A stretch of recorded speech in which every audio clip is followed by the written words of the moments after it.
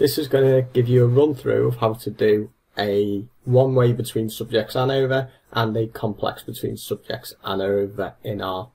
I'm going to show you how to get effect sizes, how to do some tests to make sure you meet the assumptions of ANOVA, and what to do if you do not meet these assumptions. As usual, there's a few packages that we need to install. Read Excel, the EM means, which will produce us estimated marginal means and p-values, so we'll do our post-hoc tests. The package car will do a Levene's test and an NCV test. And the package sjstats will give us some effect sizes as well.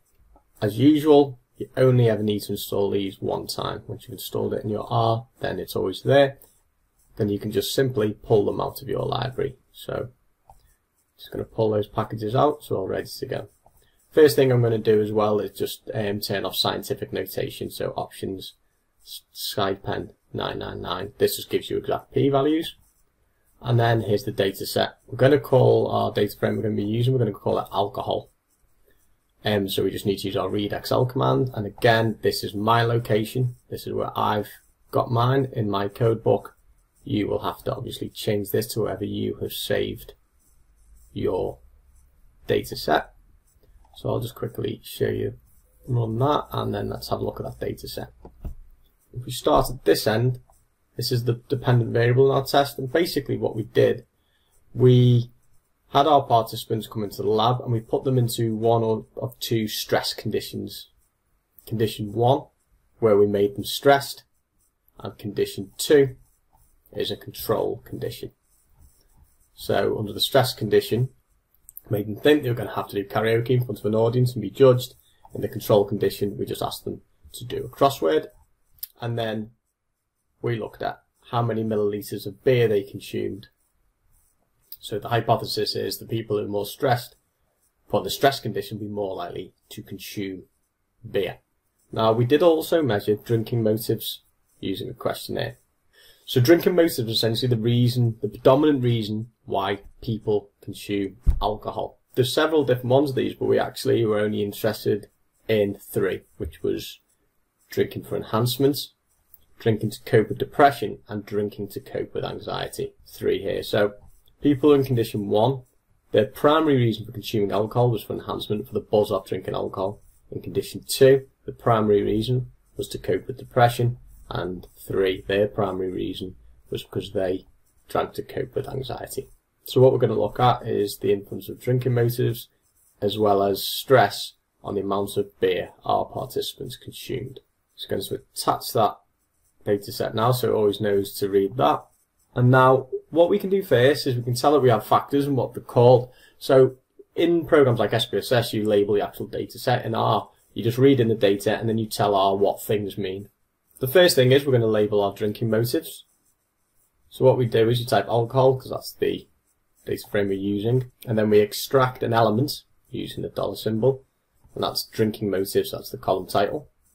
And we tell R that's a factor, so alcohol drinking motive has three levels, and the levels are 1, 2, and 3, and we just write C, brackets 1, 2, 3, comma, and then the labels are, so we just match it up. Labels equals C, enhancement, cope with depression, cope with anxiety. R now knows which of those variables here, the levels, mean what. And it knows this is a factor. And we do exactly the same thing with our stress condition. So alcohol, and we extract the stress condition element. We tell it it's a factor, alcohol stress condition. It's got two levels, and the labels for those levels are stress and control. You run that. Doesn't do anything, now R knows that these variables are factors and it knows how they're labelled as well. And we can test this, so we can just look, just type summary alcohol, this gives us a summary of our data set. And there you go, drinking motive, enhancement, 60 participants, coping with depression, 60 participants, and coping with anxiety, 60 participants. Stress condition, 90 in the stress condition, 90 in the control condition. Because it's a factor, it doesn't try and give us means and standard deviations or anything else, because there's no point, because these variables don't have that, because they are nominal variables. However, for our dependent variable, you can see it gives us our minimum score, gives us the first quartile score, gives us the median score, gives us the mean score, the third quartile, and the maximum score. So just gives us a little summary of our data. So R now has a full understanding of what the variables are. So the first thing we're going to do, we'll just do a simple one-way ANOVA. As described in the lectures, ANOVA is just another type of linear model in which we have factors. It's not actually really a million miles away from doing a linear regression. The first thing we do is we create our linear model. We're going to call our first one just Beer1 linear model. You can call that anything you like. You don't need to have LM or anything in it. And what is this linear model? So that equals, it's a linear model with our DV, millilitres of beer, then the tilde symbol, millilitres of beer by, then we say as factor, drinking motive. So this creates our linear model. And we're just going to do it simply first. So we're going to see the influence drinking motives has on the millilitres of beer consumed. So we create our linear model and then we ask for our, our ANOVA results for the linear model. And there we go. We see we get a really nice, simple output. Here are our degrees of freedom, 2, 177. Here is our F statistic, 1.98. And here is our p-value. So we have a non-significant effect of drinking motive. We can also ask for an effect size. Because we installed our sjstats package, we can just ask for eta squared for our model. So we can just run that now. And this is our eta squared, it's our effect size for the model. We could also get a Cohen's F instead. We've got to ask for this one in a bit of a different way. We have to say effect size, two colons, and then we just say Cohen's F for our linear model. So we can do that. And there we go, we get our Cohen's F statistic there as well. We didn't get a significant effect.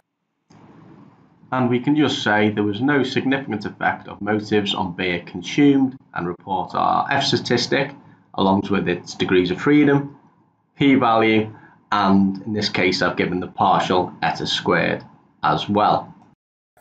So we don't need to do any post hoc tests. However, I'm just going to briefly show you how to do that. It's a very straightforward thing to do because we have our estimated marginal means package. We want estimated marginal means and we're going to take them from our linear model and it's a series of pairwise comparisons by drinking motive. So we're going to compare our conditions, do a series of comparisons across the drinking motives. So if you run that, there we go, here are our contrasts. Condition 1 versus condition 2. So condition 1 is enhancement. Condition 2 is coping with depression. And then we're going to compare condition 1 with condition 3, enhancement with coping with anxiety. And then we're going to compare condition 2 with condition 3. So coping with depression, coping with anxiety. So there are three possible comparisons. Because we didn't get significant ANOVA, they were never going to be significant anyway, really. Now, if you wanted to do some adjustments on it, you can just type adjustments equals Bonferroni. So that gives us a Bonferroni adjustment. And adjustment equals Holm.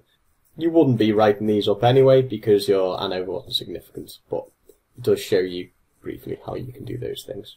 There is something, however, that's quite important, and that's homogeneity variance. So we need to test for homogeneity variance. Well, that's easily done. We can just type Levene test and our model in there. We click on that. And here's our Levene's test. And what matters is just the p-value for our Levene's test. And basically, if your Levene's test is significant, that means you do not have homogeneity of variance. So you've violated that assumption. In this case, we're okay. However, if you did, it's a very simple thing to deal with. You can just do what's called a Welch test instead. To run this, you type one way dot test, dv, tilde, iv, just like before, and you write var equal false.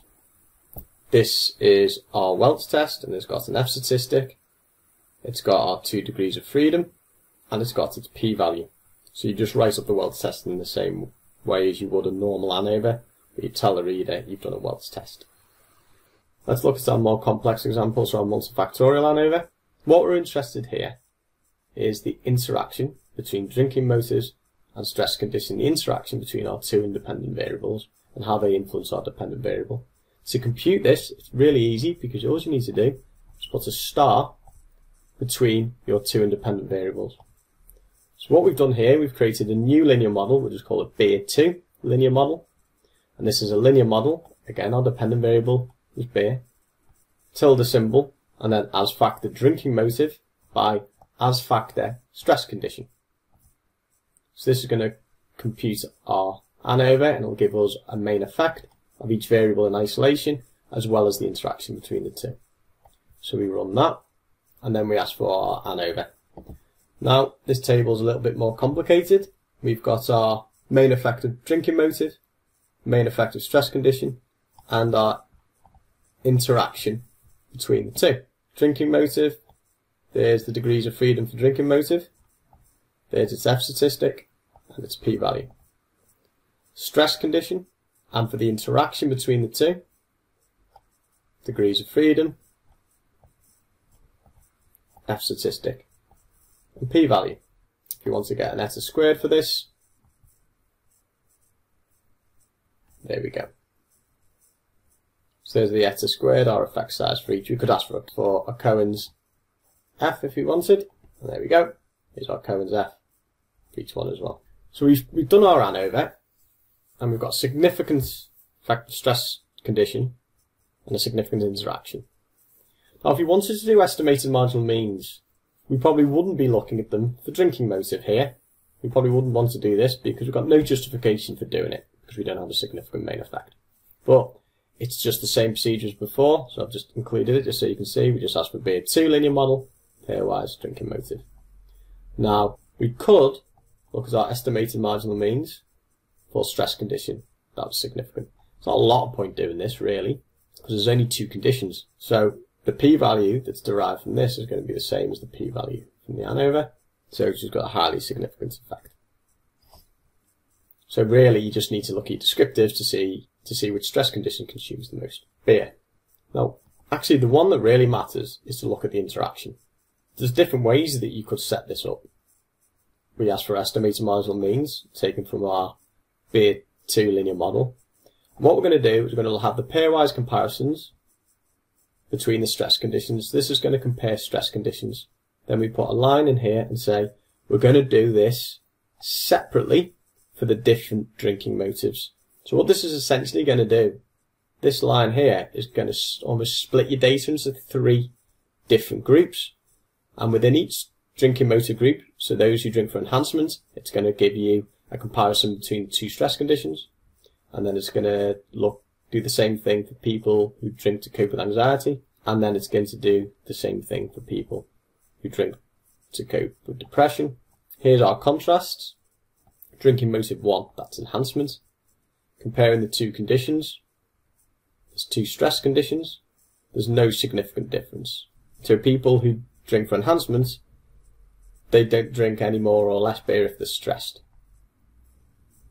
Now, as you can see, for the other two conditions, the two coping conditions, we do see that effect. So there is a significant difference between stress condition versus the control condition in people who drink to cope with depression and people who drink to cope with anxiety. Again, if you want more details on the direction these differences and so on, you would just look at descriptive statistics after that. We could look at our Levene's test as well for our model to make sure we meet those assumptions. So this gives us the Levene's test for that model. You can see it's not significant, so we don't have a problem.